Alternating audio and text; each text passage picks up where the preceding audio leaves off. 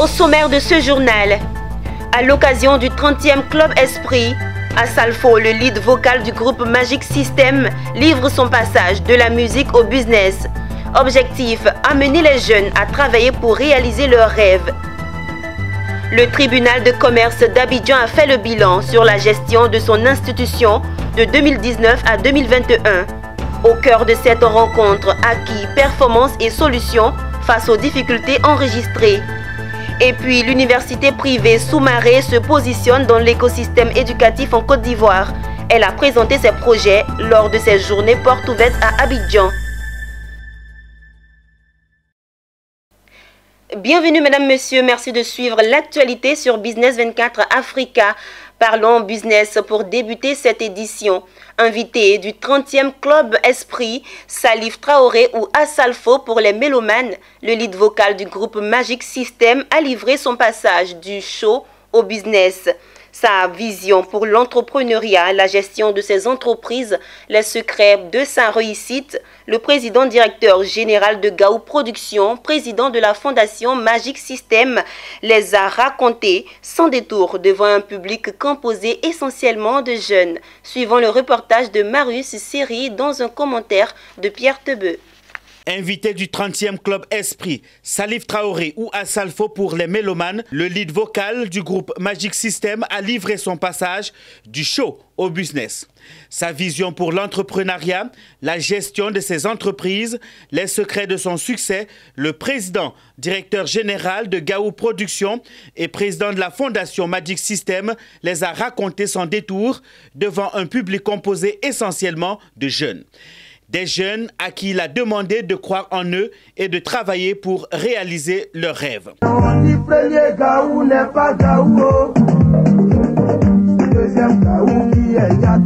C'est un voyage dans le temps qu'a fait Asalfo au cours de cette tribune d'échange dénommée Club Esprit. Un voyage 20 ans en arrière pour relater ses débuts avec le premier album du groupe Magic System. Un voyage à multiples destinations qui l'a conduit du show au business en passant par l'humanitaire avec la fondation Magic System pour être nommé ambassadeur. Il est nommé ambassadeur de bonne volonté de l'UNESCO pour ses messages en faveur de la paix. Un parcours qui force le respect et l'admiration, celui à qui la vie n'a pas jadis souri à ses débuts dans son village à Noumambo. C'était plutôt un partage d'expérience. C'était de pouvoir... Euh, essayer de partager le vécu que j'ai pu avoir, toutes les expériences que j'ai pu acquérir au cours de, de, mon parcours avec le groupe Magic System et dans ma reconversion professionnelle. Et je trouve que les jeunes qui étaient là ce soir euh, voulaient peut-être euh, entendre les secrets. Or, il n'y a pas de secret particulier à part s'approprier les valeurs. Donc ce soir, j'ai été très heureux de partager mon expérience avec ces jeunes et j'espère que euh, ceux qui l'ont compris pourront s'en servir.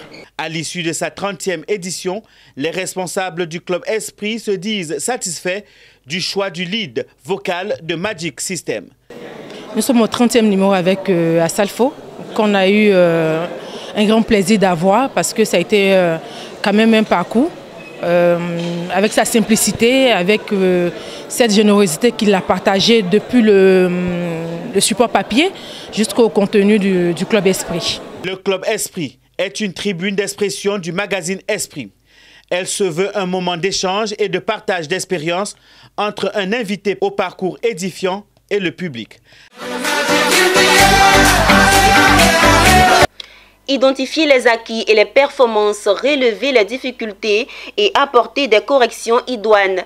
C'était l'objectif du séminaire bilan du tribunal de commerce d'Abidjan. Tenu ce samedi 31 juillet à Abidjan, ce séminaire bilan s'est intéressé à la gestion de l'institution de 2019 à 2021. Issa Badini et Tima Traoré nous font le point. En termes de bilan, le tribunal de commerce d'Abidjan va bien, et même très bien. En témoignent les chiffres rendus lors de ce séminaire bilan. 8038 euh, dossiers reçus entre 2019 et 2021, 7512 traités, soit un taux d'exécution de 93%, des chiffres qui satisfont en premier la présidente du tribunal de commerce d'Abidjan. En termes d'acquis, c'est le nombre de décisions rendues, près de 8000 décisions, Euh, le nombre de requêtes également traitées, d'ordonnances euh, sur requêtes rendues, c'est également plus de 8000 décisions. Et ça, ce n'est vraiment pas donné. Ce sont des ordonnances sur requêtes qui sont traitées en 48 heures. C'est-à-dire quand vous déposez votre requête, 48 heures après, vous avez une euh, ordonnance sur requête votre euh, requête a donc été traitée. Ce sont des décisions que nous rendons en maximum trois mois, exceptionnellement quatre mois. Mais la plupart du temps, la moyenne, ce sont des décisions que nous rendons en un mois et demi. Ça, vous ne le verrez nulle part ailleurs. Une célérité du tribunal laisse la présidente et que les chefs d'entreprise apprécient à sa juste valeur. Euh, compte tenu du stock de d'affaires qui, qui, est en cours, on peut dire que, disons qu'on ne peut pas faire mieux. Euh, bon, euh, disons que comme dit, disons très souvent qu'il n'y a pas, pas d'œuvre euh, imparfaite, mais avec les difficultés qui, ont été relevées, on peut quand même tirer le chapeau au niveau au tribunal du commerce. Si Mme Touré est fière des performances de sa juridiction, elle l'est moins quand elle évoque les difficultés que le tribunal rencontre. Au cours du séminaire, la présidente du tribunal de commerce d'Abidjan a relevé le nombre réduit des agents commis à la tâche et la situation défectueuse du bâtiment servant de siège du tribunal. Nous sommes un nombre très très insuffisant, ce qui fait une charge de travail énorme et pour notre santé, c'est quelque peu difficile. C'est-à-dire nous avons beaucoup de problèmes d'étanchéité euh, je l'ai dit tantôt, des problèmes d'étanchéité se posent même dans le bureau du président du tribunal de commerce que je suis. Un cri de cœur euh, bien perçu par le ministère des tutelles qui annonce la construction prochaine d'une cité commerciale. S'agissant des infrastructures, je vous annonce une bonne nouvelle.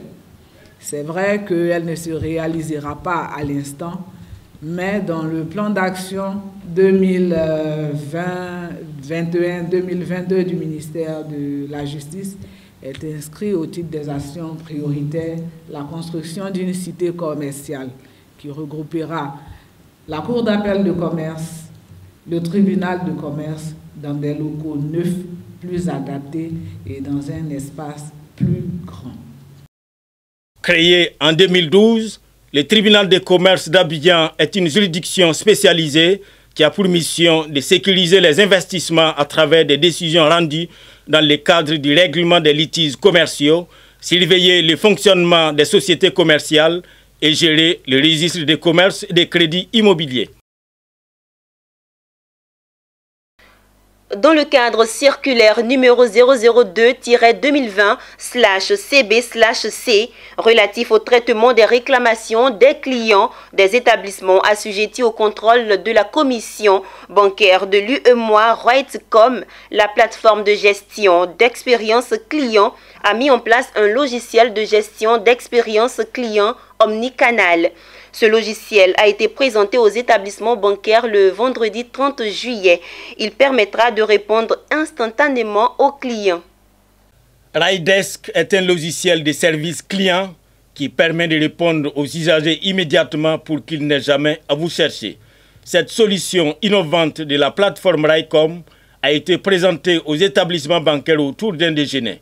Ridesk a vu le jour afin de permettre aux banques de se conformer au circulaire 00D-2020-CB-C relative au traitement des réclamations des clients des établissements assujettis au contrôle de la commission bancaire de Lyon-Mois. C'est une solution qui est native euh, dans notre, euh, dans notre euh, suite de logiciels et c'est une solution qui peut être paramétrée en fonction des institutions financières. Sinon, de base, elle couvre euh, la plupart des articles de euh, cette circulaire. Ce genre euh, d'innovation que nous souhaitons partager avec les institutions financières, nous sommes dans une logique d'accompagnement aujourd'hui de, ces, de ces instructions, de ces institutions financières. L'utilisation du logiciel Ridesk permettra aux utilisateurs que sont les banques de traiter les demandes ou réclamations comme si les clients parlaient sur les réseaux sociaux. Aussi, le logiciel permet de répondre aux appels immédiatement euh, pour assurer les clients mécontents ou impatients, de créer des workflows qui vous évitent les tâches répétitives et les demandes simples, Et pour finir, de connecter Raidesk à vos autres applications et augmenter la performance de votre service client. Raidesk possède six fonctionnalités clés qui sont Omni-Canal, le travail en équipe, intégration et appli, self-service, workflows et enfin automatisation et productivité agent. C'est bientôt la rentrée académique 2021-2022. Les grandes écoles et universités ouvrent leurs portes aux futurs étudiants. C'est le cas de l'université privée Soumaré. Celle-ci a présenté ses projets au cours de ces journées portes ouvertes organisées à Abidjan. Pierre Tebeu et Marius Siri nous donnent des détails. La Côte d'Ivoire vient de s'enrichir d'un nouvel établissement d'enseignement supérieur. L'université Soumaré, située dans la commune de Cocody derrière le CHU de Angré, a ouvert ses portes ce samedi. L'université se veut un établissement d'excellence tant par la qualité de son corps professoral que par son programme. Elle veut donner à la Côte d'Ivoire et à l'Afrique ce dont elle a besoin pour son développement en mettant à sa disposition une matière grise bien formée dans les domaines économiques les plus pointus. L'université Soumaré réforme en finances quantitatives, en économie quantitative, en actuariat et statistique de niveau licence, master 1 et 2 et doctorat. Objectif mettre à la disposition des entreprises privées et parapubliques, les administrations publiques et les organisations internationales les cadres de haut niveau dans les domaines de l'économie pointue. Gage de crédibilité, le fondateur Issouf Soumaré professeur titulaire à l'Université Laval au Canada et ancien directeur de programme de doctorat et de maîtrise de recherche de la même faculté, expert en gestion des risques et en ingénierie financière. La particularité de notre université, je pense que c'est notre focus vraiment sur ces spécialisations très très orientées en fait du côté quantitatif. Parce que en fait, nos spécialisations, c'est de la finance quantitative, c'est l'économie quantitative, c'est l'actuariat et puis la statistique. Donc on met beaucoup l'emphase vraiment sur ces aspects quantitatifs là en fait de la formation. Parce que quand les gens sont dotés en fait d'outils quantitatifs, ils sont capables de faire des analyses beaucoup plus poussées qui aident beaucoup en fait dans la prise de décision.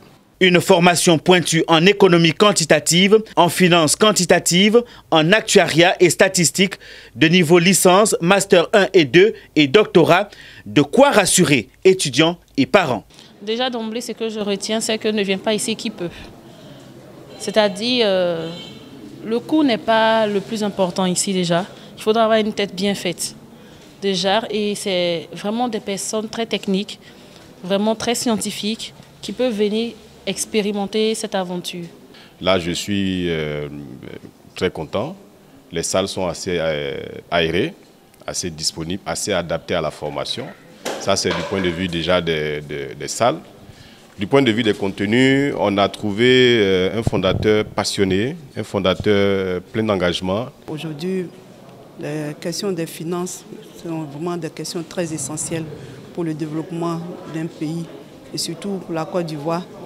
Euh, nous voyons que toutes les dispositions qui ont été prévues par le professeur vont réellement contribuer à aider les étudiants qui, sont, qui viendront ici pour prendre des cours à aller en avant. Donc je pense que c'est aussi une manière pour lui d'apporter l'expérience qu'il a connue de, l'extérieur pour aider la, Côte d'Ivoire à mieux se développer dans ce domaine qui est vraiment un domaine très scientifique. L'université Soumaré, c'est l'excellence de la formation canadienne en terre ivoirienne à travers des formations alignées sur les modes d'enseignement universitaire nord-américains qui ont fait leurs preuves. Elle est ouverte aux bacheliers des filières scientifiques et aux professionnels totalisant au moins deux années d'expérience. L'université Soumaré annonce sa rentrée académique pour septembre 2021. L'association des enfants de Nyangon à Yopougon, en abrégé Asseni, a décidé de marquer les 40 ans d'existence de leur quartier d'une pierre blanche. Cet anniversaire sera marqué par une action sociale et un festival. Ils entendent ainsi réunir tous les natifs de Nyangon. Le programme des activités a été dévoilé lors d'une conférence de presse. Faire de Yopougon Nyangon un label, c'est autour de cet objectif que les enfants de ce quartier font leur unité pour l'atteindre, ils ont décidé d'organiser un festival dont les fonds serviront à réhabiliter le centre hospitalier urbain de Nyangon-Lokwa qui tombe en ruine. Une partie de la collecte de fonds se fera par appel à dons. Nous avons voulu marquer les quarantenaires de Nyangon. Nyangon a 40 ans, plus de 40 ans aujourd'hui. il était important pour nous, en tant qu'association de Nyangon, Yopougon, hein, de marquer cette festivité-là en posant un acte fort. Et l'acte fort, c'est bien sûr la réhabilitation de l'hôpital par la mise en place, ou si vous voulez, l'implémentation d'un festival. Et ce festival nous permettra ainsi de recueillir des fonds pour réhabiliter l'hôpital de Lokwa. Au-delà de la réhabilitation de l'hôpital de Lokwa, ils veulent égayer et instruire la jeunesse. C'est pourquoi plusieurs activités aussi bien sportives, culturelles qu'intellectuelles seront organisées. D'ailleurs, un panel dont le thème Non à l'immigration clandestine, je suis de Yopougon. Réussir ici est possible, est prévu. Ce panel compte instruire les jeunes du quartier sur les dangers de l'immigration. C'est un fléau qui dévaste aujourd'hui euh, la jeunesse. Et le FENI, pour ceux qui nous suivent vraiment sur le FENI, la tranche d'âge réelle que nous suivons sur le FENI, c'est celle de 18 à 44 ans. Voilà, et donc euh, on sait aussi que l'immigration touche cette, cette tranche d'âge-là. On s'est dit, comment est-ce que nous allons marquer le temps Ok, faire une pause pour nous interroger sur les fléaux, ce fléau-là, ces causes, et voir dans quelles possibilités nous pouvons diguer. Nyangon est l'un des quartiers les plus grands de Yopougon, avec ses 12 sous-quartiers. Le festival de Nyangon est à sa quatrième édition. Il se déroulera les 6, 7 et 8 août au quartier Maroc de Yopougon-Nyangon. Il a reçu l'appui institutionnel de la mairie de Yopougon, du ministère du Tourisme et de celui de la Culture. Une page culture dans cette édition. Du 12 au 14 août 2021, la commune d'Agou va vibrer au rythme de la culture Akié à travers le Festival international de la culture et des arts Akieke en abrégé FIC 3A d'Agou. À quelques jours de l'événement, s'est tenu le lancement officiel et la signature d'une convention entre la mairie d'Agou et le commissariat général du FIC 3A. Reportage Daniel Kodjo.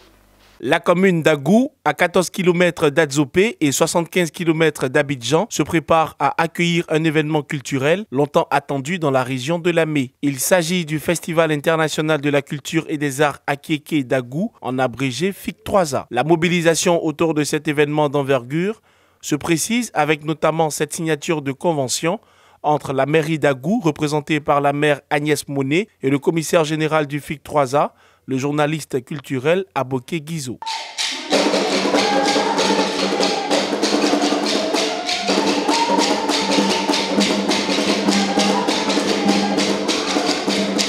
apporter un brin de développement aussi à la population. Agou, pour moi, Agou, c'est chez moi. Donc, euh, j'ai déjà vécu ce genre d'expérience ailleurs, dans mes reportages, dans mes sorties personnelles. Et pourquoi ne pas l'implanter ici? Sept chefs de village de la commune d'Agou, ils étaient tous présents. Donc le message est parti. Les jeunes étaient là, les femmes étaient là et le chef de canton. Donc je pense que chacun part comme messager, n'est-ce pas, de cet événement.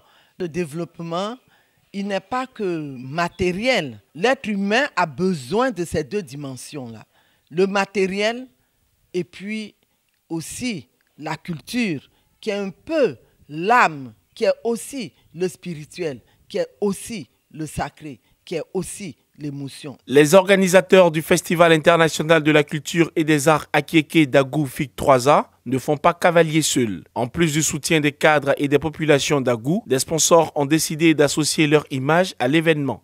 Euh, nous pensons que euh, la culture en elle-même euh, est un élément qui véritablement peut permettre à notre jeune population, à nos peuples de croire en elle.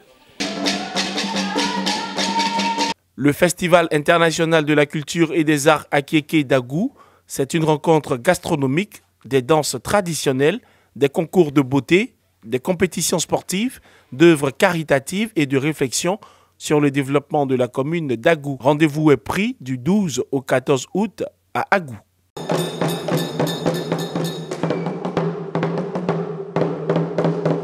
La Fédération nationale des femmes productrices de café cacao de Côte d'Ivoire a tenu son assemblée générale ordinaire de l'exercice 2020 le week-end dernier à Yamoussoukro. À l'ordre du jour, le bilan moral et financier. Il ressort de la rencontre que la filière a été impactée par la maladie à Covid-19. Reportage. Au cours de l'Assemblée générale ordinaire de l'exercice 2020 qui a eu lieu à Yamsokro, le bilan moral et financier était inscrit à l'ordre du jour. La Fédération nationale des femmes productrices de café cacao de Côte d'Ivoire s'est félicitée de la résilience de l'économie cacaoyère tout en reconnaissant les conséquences négatives de la maladie à coronavirus sur la filière de l'or brun. Toutefois, la fédération a enregistré un sol positif de plus d'un million de francs CFA. Je lance aussi à, un, appel aux femmes qui n'ont pas compris les choses. Aujourd'hui, j'appelle ces femmes productrices qui ne sont pas encore euh, venues s'adhérer à la Fédération nationale. Je lance un appel à toutes ces femmes de Côte d'Ivoire qui travaillent dans le cacao culture de venir. Plusieurs personnalités ont pris part à l'Assemblée générale ordinaire de l'exercice 2020 de la Fédération nationale des femmes productrices de café cacao de Côte d'Ivoire. Il s'agit notamment des parlementaires. La Fédération nationale des femmes productrices de café cacao de Côte d'Ivoire a été créée en 2015. Sa mission est d'assister toutes les coopératives membres et renforcer leurs capacités dans la bonne gouvernance de leur organisation. À ce jour, la Fédération nationale des femmes productrices de café cacao de Côte d'Ivoire compte 51 associés coopératives. C'était un reportage signé Charles Kouakou, commenté par Nadia Eounoud. Une triste nouvelle dans cette édition. Le monde musical est en deuil. Jacob Devario, chanteur, guitariste, pierre angulaire du groupe Kassav, est décédé le vendredi 30 juillet à l'âge de 65 ans. Il était hospitalisé depuis quelques semaines dans un état grave et n'a pas pu survivre à la maladie à Covid-19. Jacob Devario restera toujours gravé dans la mémoire des amoureux de la musique, du zouk notamment.